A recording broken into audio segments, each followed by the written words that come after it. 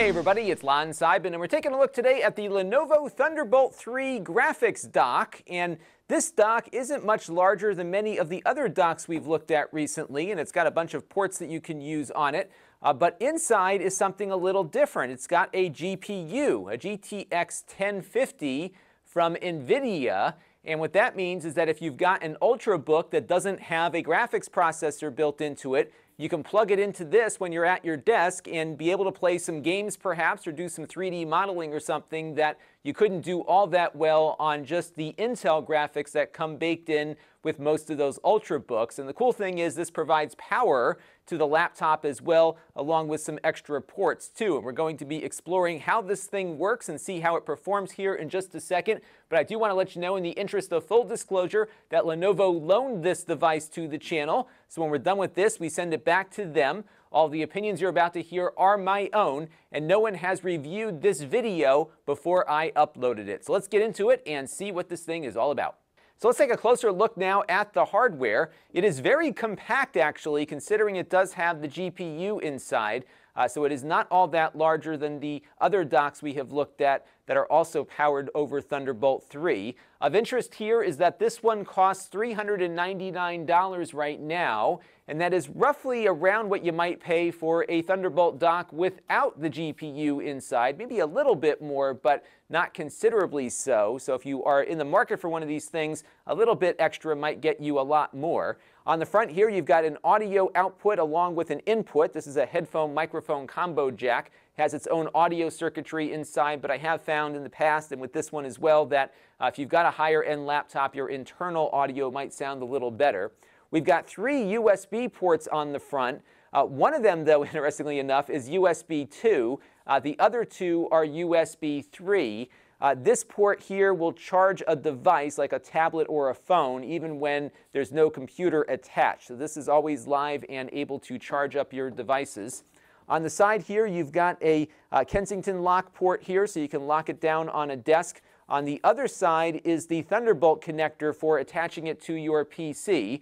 Now, I should note here that Thunderbolt and USB-C are not the same, even though they do use the same connector. Uh, so Thunderbolt 3 is faster and compatible with USB-C, but if you have a laptop that does not have one of these little uh, lightning bolts next to the port, uh, this will likely not work with it. This will not work with any USB-C equipped device. It's only going to work with a Thunderbolt equipped device and you'll need to make sure your device is compatible with Thunderbolt before you uh, buy this one. Now, like many of the docks we have looked at here on the channel, there is a rather large power supply here that goes with it. Uh, there's a good amount of cable length on this, so I think you should be able to locate this on the floor or something, but uh, just know you'll have a nice big power brick here because you need to power the laptop along with all of the functions of the dock, including its GPU. Uh, that power supply connects up to this yellow connector right there. You've got three display outputs here, so you can drive three displays off the dock simultaneously.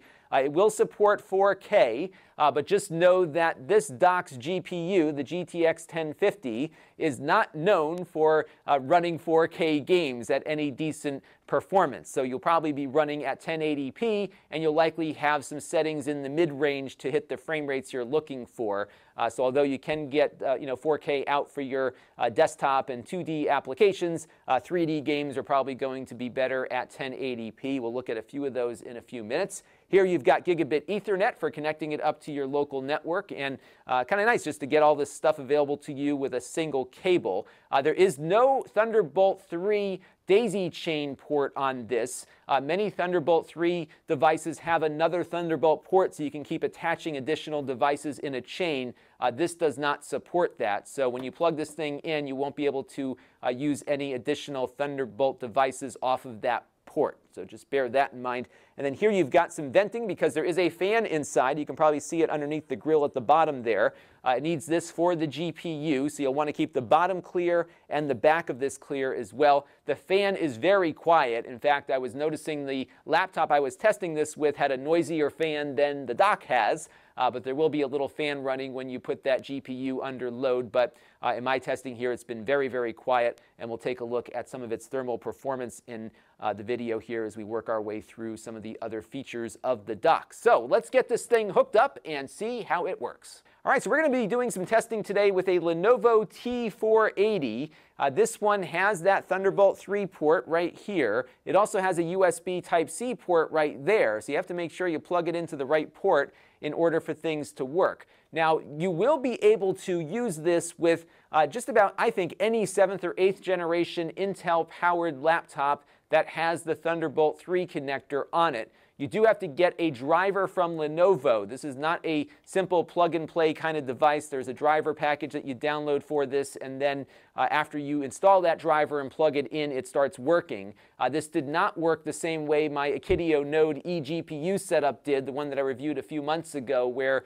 it just kind of got recognized by Windows and started working with an NVIDIA driver. Uh, this one is different. You are going to need to grab that package from Lenovo. And I really strongly urge you to buy the dock from a place that offers returns without any headaches because it could be possible this just doesn't work with a particular configuration, and uh, Lenovo is not supporting anything at the moment, at least at the time that I'm shooting this review, uh, that is not their Yoga 720 with the 8th generation processor built in. It's a very specific compatibility item here, but I do think it's compatible with more than that, including this T480 here. So we're going to plug in this cable first and uh, get everything booted up here. So you can see now that uh, we are plugged in. We just have to wait a second for everything to activate here, but uh, sure enough, there we go. We've got uh, this video now coming out of the dock that is hooked up here on the desk, and we're now using uh, that NVIDIA GPU to get us there. And if we pop into the GeForce experience here, you can see that it's recognizing that GTX 1050 and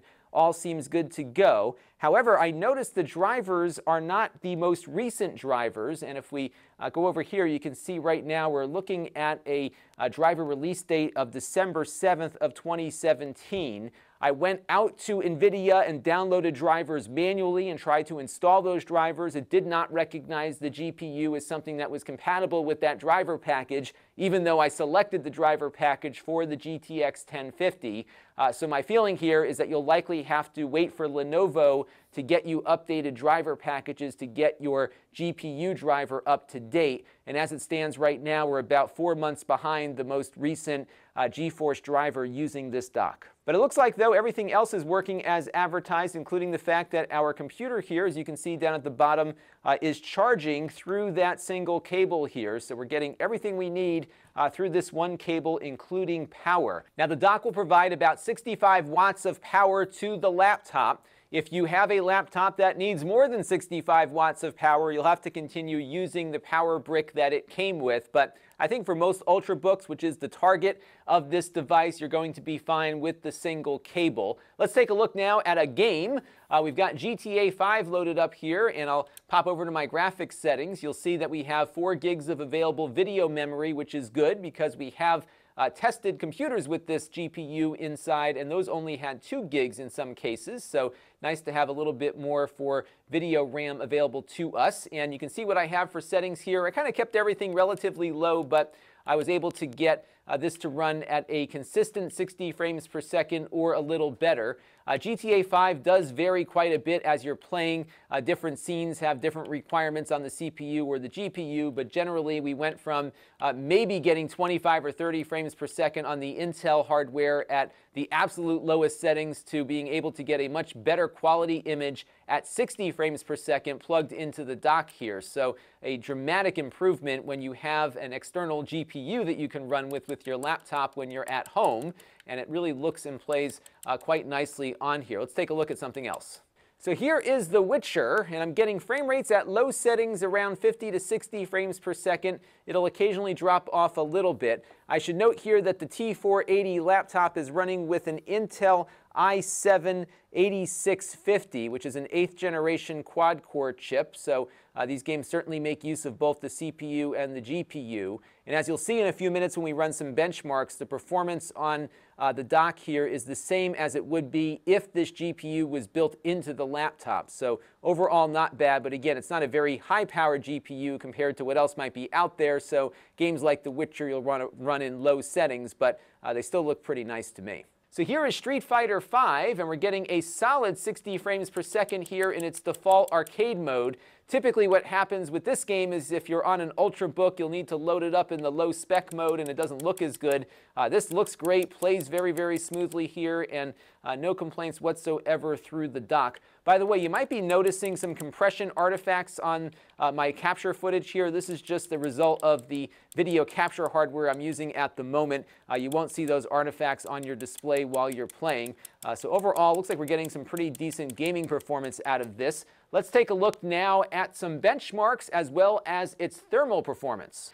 Now, when we plugged the dock into the laptop a little while ago, you'll recall seeing that the display was mirrored on the internal laptop display in addition to the monitor here. And uh, that is the default setting, and that does impact performance slightly. Uh, so we're going to pull up the 3D Mark Time Spy test, and you'll see that when we had the internal display disabled, we got slightly better performance.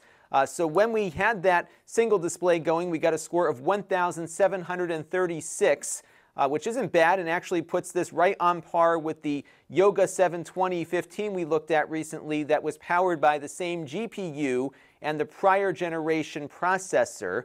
Uh, so overall, we're getting performance that I would expect to get uh, out of a GTX 1050 here. So all in, very good performance. I also ran the 3D Mark stress test to see how well this does under load. We got a passing score there of 98.4% and you can see what both our CPU and GPU temperatures were in that test. And I think one advantage here of using the dock is that uh, you've got your CPU and GPU in two different boxes that are cooling themselves independently, uh, which does allow it to maintain its performance under load and over time. So I'm not seeing any real uh, drop off in performance here on the dock. And again, uh, you will hear the fan, but it's not uh, overly noisy either. So all in, it looks like it's performing quite well, and it's a good pairing, I think, with an Ultrabook. Now, some viewers were asking whether or not this would work with the Mac, and I did give it a pretty decent try on the Mac, but it does not work. Of course, I just tried plugging it in initially. Uh, the Mac did charge off of this, so it was able to get some of the functionality, but the GPU part did not work. Uh, that includes plugging it into OS X High Sierra, which has eGPU support. I even went out to eGPU.io, which is a great website for uh, eGPUs, and I installed some of the scripts that they have to get NVIDIA external GPUs working on the Mac, and this one just would not get going with it. In fact, it was uh, resetting and kernel panicking my Mac when I did uh, get all of those scripts installed on there. So overall, I think this is going to be limited to uh, just Windows 10 devices that are compatible with it. And Lenovo is being very careful about what they're guaranteeing compatibility with. So again, I would recommend getting this from a place that you can return it to should it not work. Because I found even with the Lenovo X1 Carbon, the brand new one, uh, with all the drivers up to date, the drivers installed for the dock, every time I plug the dock in, it just reset itself. Um, so you will have some compatibility issues perhaps, and uh, you want to make sure that you have an out should this just not work with your particular computer. But uh, when it does work, it seems to be delivering the performance you would have if you had a 1050 GPU built inside, and it doesn't take up all that much room on your desk, as you can see here. Uh, that other eGPU we tested a few months ago is huge, about the size of a PC itself, so it was nice to see some other options here in a much smaller form factor. So I hope that this is the beginning of many more products that do this kind of thing. And uh, when it does work, it does work exceptionally well. Uh, but there are some catches and caveats here that I hope this review would uh, will give you some insight into before you buy. If you have any more questions, leave them down below in the comment stream. And until next time, this is Lon Seidman. Thanks for watching. This channel is brought to you by the Lon.TV supporters, including gold level supporters of the Black Eyed and Blues Music Hour podcast. Chris Allegretta, and Kalyan Kumar. If you want to help the channel, you can by contributing as little as a dollar a month.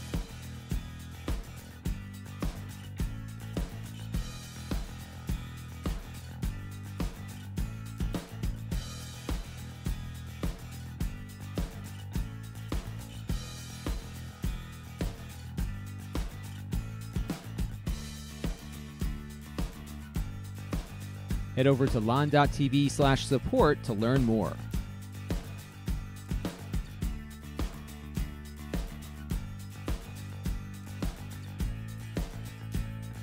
And don't forget to subscribe. Visit lon.tv slash s.